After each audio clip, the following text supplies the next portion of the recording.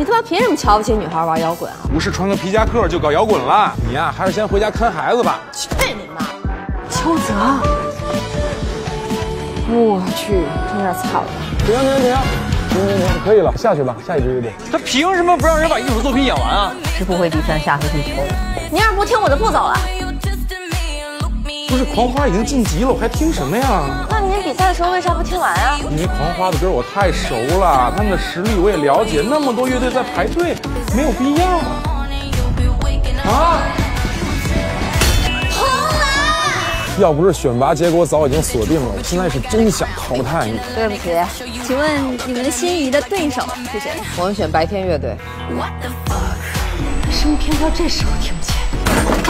凭什么输给那帮小屁孩？人本就有黑幕。老娘出来混的时候，你他妈还没投胎呢！我早知道是今天这个节，我辛辛苦苦装实力图什么呀？那你太他妈混蛋了！你都他妈滚！